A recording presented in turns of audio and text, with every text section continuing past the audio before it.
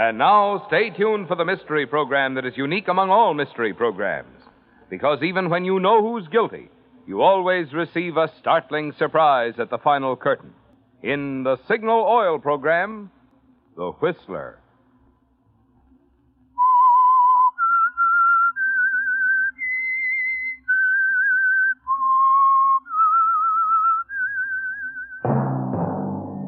Signal, the famous Go Farther gasoline, invites you to sit back and enjoy another strange story by The Whistler.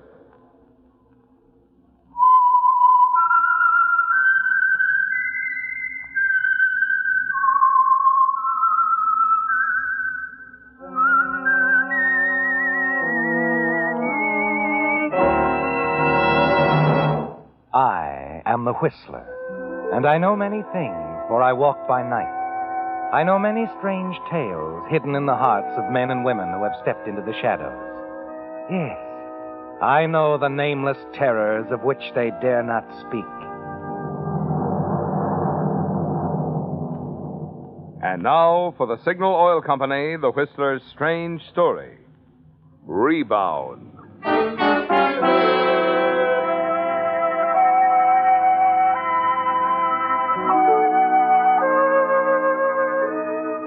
It was early evening, and the offices of Rogers and Bowman, investment counselors, had been closed for nearly two hours. The rows of desks were deserted, and the only light slanted in through the frosted glass partition from the outer reception room. But at the rear of the office, Henry Hutton kneeled in front of an open safe, shuffling hurriedly through a sheaf of papers spread out before him. Finally, he selected three negotiable bonds of $1,000 denomination, replaced the others, and after closing the safe, started out through the open door to the reception room. And then, Hello, Mr. Hutton. Oh, Charlie, what are you doing here? Worked late. I was just leaving. But I saw you leave at five. Oh, I just went down to grab a sandwich. Came back, finished up the filing. Oh, I see. Well, that's very commendable. See you in the morning, uh, Charlie. Sure, Mr. Hutton. Oh, uh, Mr. Hutton, Uh, yes? did you, uh, lock the safe okay? Naturally. Good. Just wanted you to be sure. Well, I'm glad you're so careful, Charlie, but everything's okay. I just came back to pick up a couple of bonds of my aunt's. We handle her account, you know. She wants to use them in a little real estate deal in the morning. See? Night. Good night, Charlie.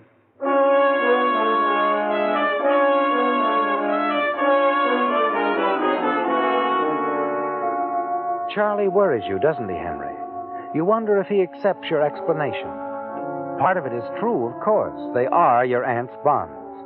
But you took them for yourself to cover today's wrong guess on the stock market, just as you've done many times before.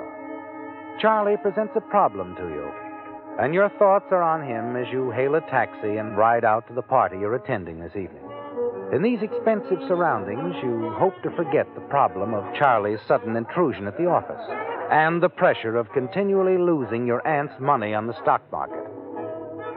As you take a drink from the buffet table, you see a beautiful reason to forget your troubles. Hello. Hello. Nice party, isn't it? Well, all of a sudden, it seems very nice. Never seen you before, have I? I mean, I've been to lots of parties out here. But I uh, I just came out from the east. Oh, on uh, vacation? No, I'm going to stay here. I've taken a house. Your, uh, your husband here with you? I'm not married. Oh, well, that takes a load off my mind. I don't think I'd have ever recovered if you had been. my name is Hutton, Henry Hutton. Lisa Morell. Lisa? Mm-hmm. That's nice. That's very nice. Dance, Lisa? I'd love to, Henry.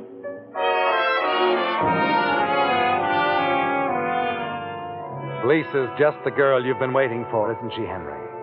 And you manage to spend most of the evening in her company. Finally, as the party draws to a close and you're about to phone for a taxicab, Lisa stops you. She has her own car. And when you slide under the wheel of her cream colored convertible upholstered with leopard skin, you're even more impressed. Then, several minutes later, you pull the car to a stop in front of the palatial residence she's taken in Northridge. It's so late, Henry. I think you better take my car. I'll have my chauffeur pick it up tomorrow. Oh, no, no, that's too much trouble, Lisa. No. There's an all night taxi stand a couple of blocks from here. I'll just walk down and get one there. Well, you're welcome to the car. I sure I am. It's not necessary. Lisa, how about dinner tomorrow night? Or uh, am I a little quick? I'd, I'd have been disappointed if you hadn't asked me. Swell. I'll pick you up around seven. I'll be waiting. Well, Henry, you found an answer to your dreams, haven't you? If you can only marry Lisa Morell and her money, your problems will be over. And during the next couple of months, you do everything you can to impress her. You take her everywhere, using money from your aunt's bonds as often as necessary. And finally, your efforts are rewarded. Lisa agrees to marry you, and you're sure your worries are over. Then, a few days later, on your return to the office following luncheon, Hi, Mr. Hutton. Charlie? Well, you just missed seeing your aunt. Oh, she was here? Yes. I had quite a chat with her. She went to lunch with Mr. Rogers. Uh, how long ago did they leave? Just after you left. Oh, do you, do you know where they went? No. But I heard your aunt say something about uh, going to her attorney's after lunch. Her attorneys. What about? Well, how would I know? I only talked with her a couple of minutes. Oh, well, she loves to talk, Charlie. Um, what did she have to say? Oh, nothing in particular. Oh. Just kind of rambled on. Oh, yeah. Politics. Sure. Mr. Rogers. stuff like that. You know something, Charlie? You're a pretty smart guy for your age. You know how to handle people. I'm going to see that you get a raise in salary. Now, you can count on this going through, too. Gee, that'll be swell. Only uh, I don't quite Well, see. I take, for instance, the night you saw me pick up those bonds in the safe. Well, a lot of guys your age would have told somebody in the office about it, but Well, it wasn't any of my business. You're the office manager. exactly. But between you and me, it could have been a little embarrassing. You see, I um, uh, I'd forgotten about it. I was supposed to take care of the matter a couple of days earlier, and well, my aunt and oh, Mr. Rogers too. Uh, they like promptness. Mm-hmm. You see what I mean? Yeah. Sure, Mr. Hutton. I see what you mean. Good, good. I thought you would. And about that raise, Charlie, you can count on it.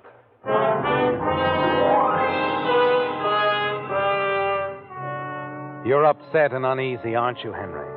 But as the afternoon passes, you're sure your fears are groundless. Charlie thanks you several times for your efforts in his behalf, tries desperately to please you in every way. And when he returns, Mr. Rogers is his usual self. Yes, you're sure you're safe for a while.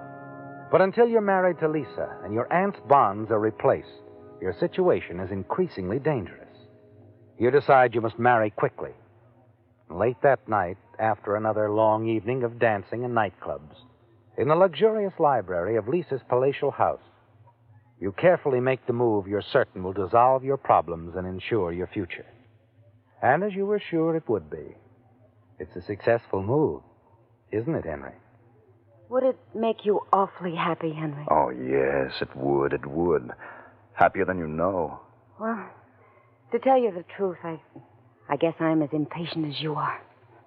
Am I shameless? Oh, no, you're wonderful, Lisa. we'll be married Friday. Then we can fly to Yuma and fly back to some nice spot near the ocean, say Monterey, and spend a couple of days there, then come back to town. And later we'll take a real honeymoon. Anytime you say, darling. Happy now? I guess I'm the happiest guy in California.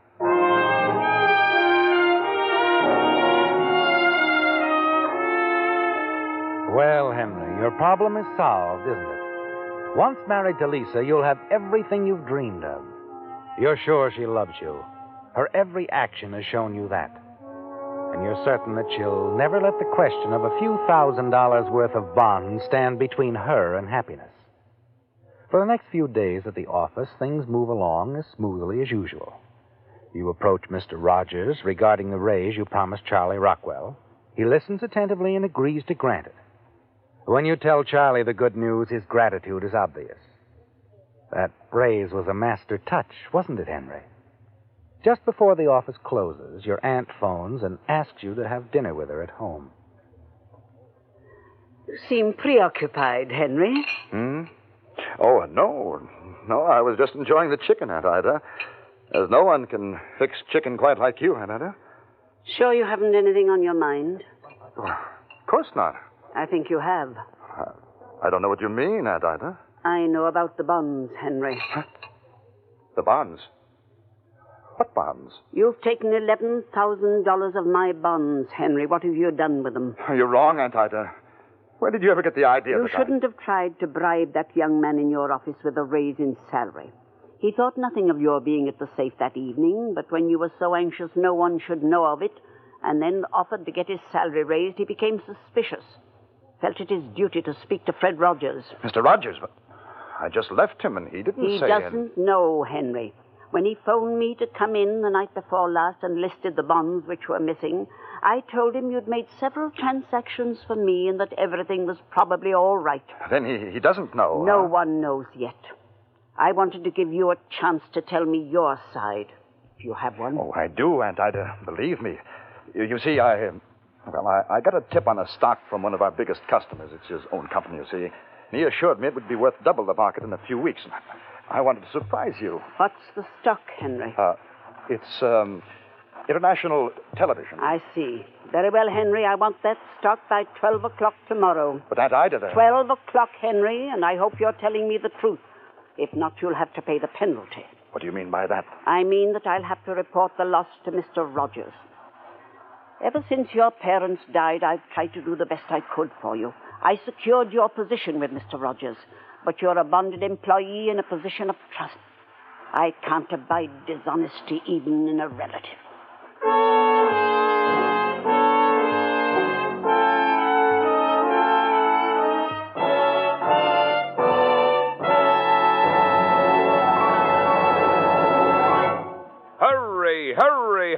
Just four more days left to enter Signal's big $10,000 contest. That's right. Thursday, June 15th is the last day to mail your entry that may win you a new Buick or one of 200 valuable prizes. So if you haven't gotten an entry blank yet, hurry, hurry, hurry to your nearest Signal station and get one free, completely free, no purchase required. Then here's all you do. You know those signal cartoon billboards that show an angry bride waiting at the church door for the groom who is just arriving late because he ran out of gas? You can just imagine what that bride is probably shouting at the groom. Uh, something like, Mother warned me you were dumb, but I thought you at least knew enough to use Signal Go Farther gasoline. Well, just write on your entry blank what you think she's shouting in 25 words or less.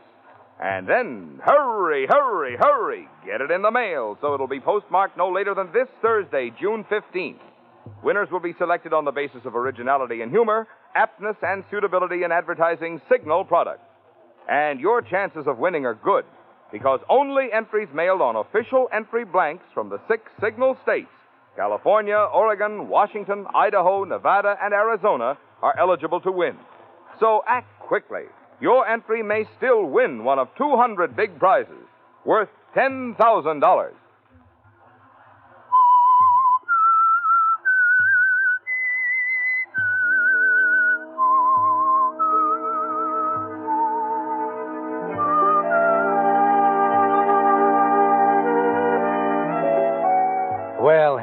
Things aren't going so well, are they? Your marriage to Lisa Morell is only a few days away, but now you're threatened with disgrace, loss of position, imprisonment. You decide you must do something right away. As you glance around the room, you notice the electric clock on the wall. It's a little past seven, and you wonder if Lisa is at home.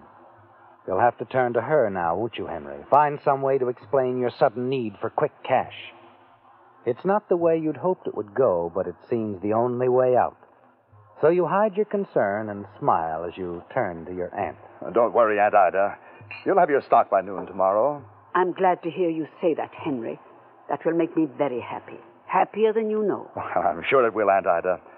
Now, if you'll excuse me, I think I'll drive over to Hollywood. I want to pick up some pipe tobacco, a couple of other things. I'll be back before long. You saunter out of the house, but once in your car, you don't waste any time heading out over the pass toward Lisa's house in Northridge. All the way out, you debate just what to say, and finally decide on the story that you're sure will go over. You push the buzzer, and Sedgley, the butler, greets you at the door. Good evening, Mr. Hutton. Good evening, Sedgley. Is Miss Morell in? Uh, Miss Morell has left, sir. Left? You mean left town? Yes, sir. This morning. But how, I don't get it. Since she didn't say anything. But it was rather sudden, sir. You see, the Hawthorns arrived unexpectedly yesterday afternoon. And who are the Hawthorns? The people who bought this house. Her employers. Her her employers. Miss Morell was secretary to the Hawthorns, Mr. Hutton. They sent her out here with the rest of the staff to get things in order. Oh, but no, that can't be true. You, no, no, you must be mistaken, Sedgley. It is true, Mr. Hutton. Well, I can't believe it. Why, she led me to believe that she, that she was wealthy, that, that all of this was hers. I'm afraid Miss Morell had uh, set her cap for you. She was trying to impress you, uh, to make you think that she was, uh, well, uh, as wealthy as yourself, sir. The Hawthorns were quite angry when some friends of Miss Morell's dropped over unexpectedly and they discovered this deception. They insisted she leave town. Well, Sedgley, it seems she just wanted to marry me for my money. Yes, sir.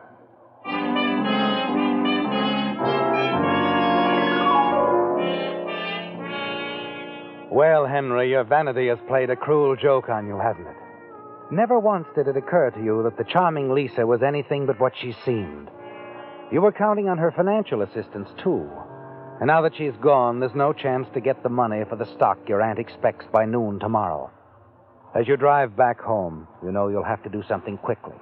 And you know what it is, don't you, Henry? Your aunt must die tonight. Once you accept that thought, a plan, a very simple plan, begins to form in your mind. And as you near your home, a comforting thought strikes you. Unpleasant as killing your aunt may be, there will be some financial gain. The remainder of her bonds, about $20,000. You can go away, Henry, and forget about everything. Yes, Henry, you're convinced that this is the one way out. As you put your car in the garage, you know exactly what you're going to do. When you enter the house, you find Mrs. Martin, your next door neighbor, completing a visit with your aunt. Oh, hello, Henry. I was just going home. You're not leaving on my account, I hope, Mrs. Martin? Certainly not, but I must run along now, really. Henry will be glad to walk home with you, Margaret. Oh, of course I will. No need for that at all. It's only next door. Well, just the same, I'll walk you over. You won't have to wait long, Aunt Ida. I'll uh, just be a few minutes. All right, Henry. Good night, Margaret. Good night, Ida.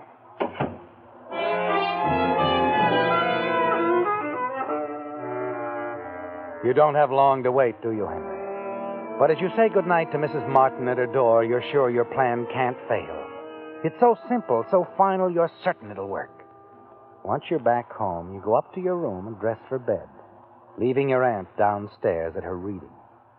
When you come back downstairs, you're ready to put your plan into action.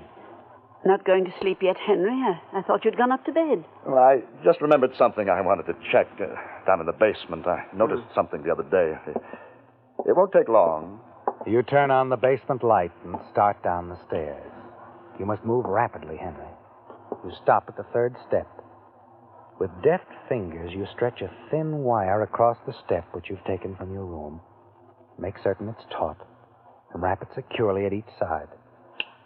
Turn out the basement light, and very quietly slip down the rest of the stairs. You're breathing heavily as you reach the basement floor. This next move is all important, Henry. You must be calm, and you are.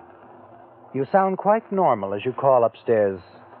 Aunt Ida, Yes, Henry? Uh, did you call, Henry? the basement lights are out. Can you bring me a fuse, please? Uh, of course. Just a moment. You hear her footsteps overhead. She's gone for the fuse. You stand there in the basement waiting.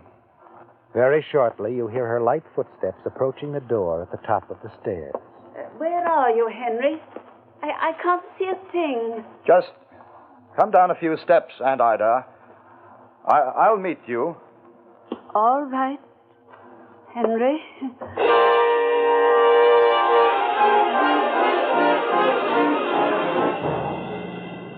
It's done, isn't it, Henry? Your aunt lies quite dead at the foot of the basement stairs. You stand there for a few moments and then slowly make your way up the stairs again, stopping at the fateful third step to remove the now broken wire that you take back to the basement toolbox. Within a few minutes, you're back upstairs in your own bedroom. You rumple the bedclothes and open a book on the nightstand. It's all part of the plan, isn't it, Henry? Part of the convincing story you must tell in a very few minutes.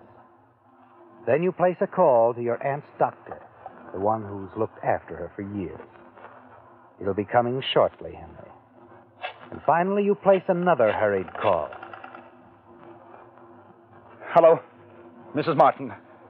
Y- Yes, yes, this is Henry. Can you come quickly? It's Aunt Ida. Something horrible has happened. She... She's dead. The next few minutes flash past. Mrs. Martin arrives first, and you tell her your story. The doctor arrives a short time later. And because it's an accidental death, the doctor calls the police. You play the grief stricken nephew to perfection, Henry. And then finally, you're telling your story to the lieutenant. And uh, you say you were reading in your room, Mr. Hutton? Yes, that's right. I left Aunt Ida reading downstairs. I was in my room upstairs, reading. Suddenly, the lights went out. Fuse must have blown. Well, I called down to Aunt Ida that I'd be right down, but she didn't hear me. When I started downstairs to her in the darkness, I heard her scream and the fall. And when I reached her, she she was dead. I, I uh, I know this is very difficult for you, Mr. Hutton. Just one more question now. Yes. How long would you say the lights were off? I, well, about five minutes, I guess.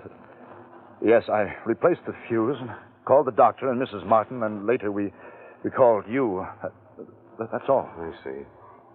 Well, Mr. Hutton, I'm sorry. I, I'm sure your aunt missed her footing and fell down the stairs. It seems the only way it could have happened. Uh, Lieutenant, I, I'm sure you understand that I'd, uh, I'd rather not stay here tonight. Oh, yes, of course I understand, Mr. Hutton. I'll just go up and throw a few things in the bag. I won't be long. You're welcome to leave whenever you like, Mr. Hutton. I have no further questions.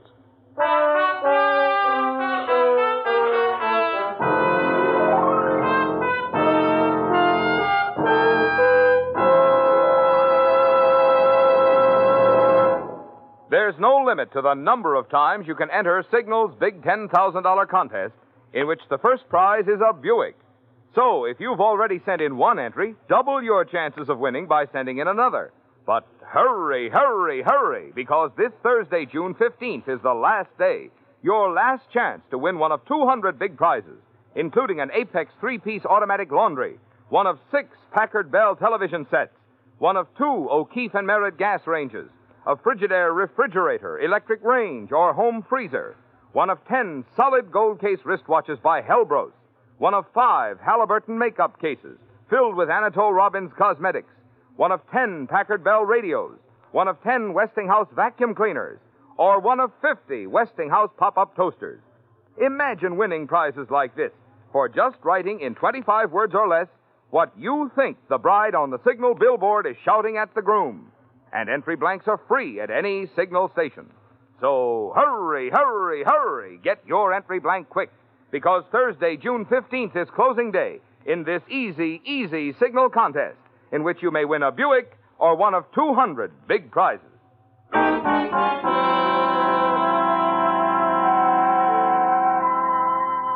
Well, Henry, it's over at last. For the first time in months, you can breathe easily, secure in the knowledge that no more questions will be asked about your aunt's missing bonds. Downstairs, the lieutenant and his men are completing their routine examination. But as you pack your bag, you feel certain there will be only the formalities, and then what's left of your aunt's holdings will be yours. Not a great amount, but enough to let you get away and forget all that has happened.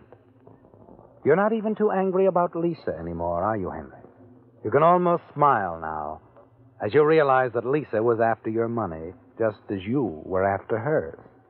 And you're still thinking about her a few minutes later as you move down the stairs and into the living room, where Lieutenant Ames is talking with Mrs. Martin and the doctor.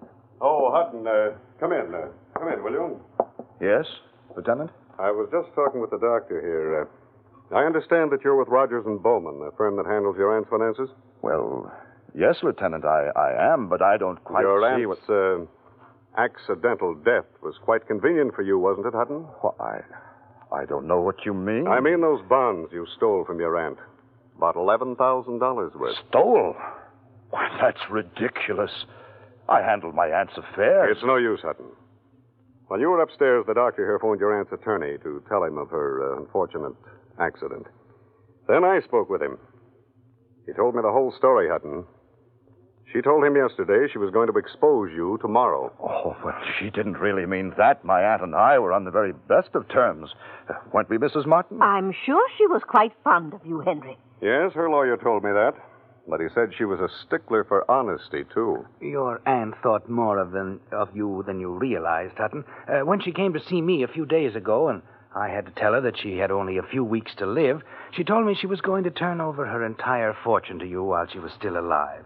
In a few weeks, you'd have been a very wealthy man. Wealthy, Doctor? My aunt wasn't wealthy. Her holdings exceeded a quarter of a million dollars, Henry. She thought you might accomplish more if you were unaware of it. Oh, no, no, no. You must be wrong. She never spent anything she didn't have to. She wanted you to have it all, Henry. She used to laugh about how surprised you were going to be. I'm sorry, Hutton, but I'm going to have to arrest you for the murder of your aunt. Arrest me? You can't tie me into this. I think we can. Fifteen minutes ago, I was prepared to accept your story of an accidental death. But since you went upstairs, my men have turned up two or three very interesting things. Oh, uh, this, for example. Why, it, it, it's just an ordinary piece of wire. That's right, Mrs. Martin. We found it coiled up in a toolbox down in the basement. But we found some other things, too, Hutton. Marks on the posts of the basement stairs. Marks made by this same piece of wire stretched across where your aunt tripped. Particles of rust from the wire, too. You stretched that piece of wire across the stairs. I? Why, that's ridiculous. Tell me, uh, how long were the lights out, Hutton? Well, there were five minutes or so. How do you know it was five minutes? Uh, did you check the time? Well, of course not. After I heard Aunt Ida fall, everything else went out of my mind. I wasn't thinking about clocks. No, I suppose not. Too bad for you, you weren't, though. Will you step in here a minute, Hutton? I want to show you something. What? What is it? Up there, on the wall. What, the, the clock? An electric clock, Hutton. Well? Is this the room where your aunt was reading? Yes, yes, I told you. The lights were never out in here, Hutton. What do you mean? Come here, I'll show you. Huh? I'm going to pull the plug that leads to that clock. There you are. See that red dot in the face of that clock? That's what happens when the current goes off. If the current had ever been off in here tonight, that red dot would have been there. Well, it wasn't. but wait a minute. You've been lying, Hutton. Come on, we'd better go down to headquarters.